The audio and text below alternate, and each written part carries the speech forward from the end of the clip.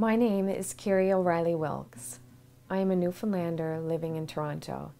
In addition to being a mom to two incredible babies and a wife to a superstar husband, I am a legal executive with one of the biggest mining companies in the world.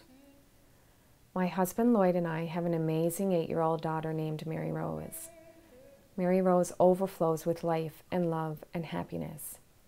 She regularly inspires me and puts me in awe over the depth of her young soul. About a year and a half ago, our son Malachy joined our family. Malachy was born seven weeks early. When I was 33 weeks pregnant, I was experiencing some back discomfort and went to labor and delivery triage at a hospital in Toronto to see if I could take extra strength Tylenol for the pain. After a few standard tests, the doctor came in and told me that they would have to deliver my baby that night. I asked for a second opinion and told that I was dying along with my baby, and that we both had a very short, finite period to take action. I had severe HELLP syndrome, and the only treatment was immediate delivery. As I stood behind the curtain to change into my surgery gown, I started whispering to Malachy, telling him that I would not leave him, promising him that we were in this together, and with a very shaky voice telling him that I was sorry, that I could not hold on to him any longer, but that my love for him would carry us both through, and that we would be fine. We were blessed that Malachy had no serious issues, but he was very tiny. I, on the other hand, felt fundamentally broken physically and emotionally, like someone had ripped out my heart and soul and shredded it at my feet. Malachy was principally cared for by the neonatal intensive care unit team at St. Michael's Hospital in downtown Toronto. One of the first people we met at St. Mike's was Dr. Tony Barozzino. I remember because he came to introduce himself to me, showing me his identification card and talking to me about Malachy. My first question was whether Malachy was going to be okay.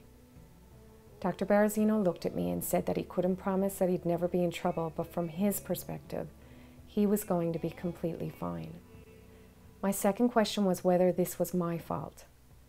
Dr. Barozzino looked at me with the most gentle eyes, reflective of his soul of pure kindness, and with his hand on my shoulder told me that this did not happen because of anything I did or did not do that the entire NIC unit team at St. Mike's were there for us and that they would shepherd us from feeling like we were in darkness into the sunshine.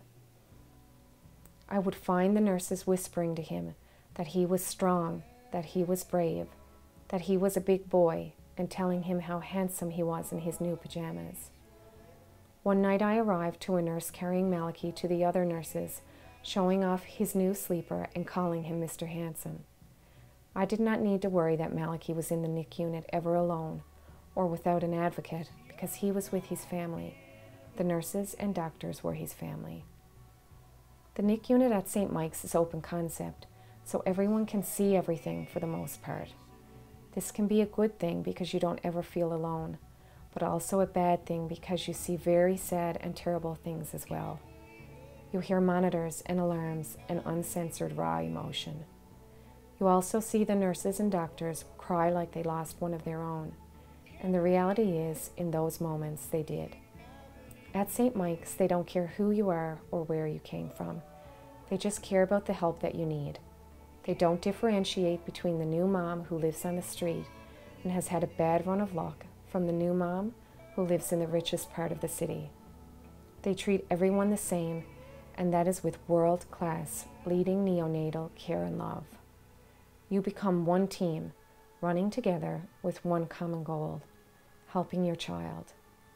Perhaps that is one of the reasons why I connected so much with St. Mike's. Their values overlap quite a bit with Newfoundland culture caring for your own, but everyone is your own. Because St. Mike's is a hospital serving primarily the inner city of Toronto, its access to funds can be somewhat limited. This is why my husband and I decided to start an event called Malachy Soiree. Malachy Soiree will be an annual event and is in its first year. It's an enormous celebration of all that is amazing and incredible about St. Mike's NIC unit. The focus is to raise money and awareness through this event about the importance of the neonatal intensive care unit at St. Michael's Hospital. It is my family's way of giving back and saying thank you for the extraordinary miracles that they created in our lives and hopefully better arming them financially to continue to create more miracles for more families so that we can spread our smiles. We are so appreciative that we can tell our story so that other families going through similar times can hear us say that you are not alone.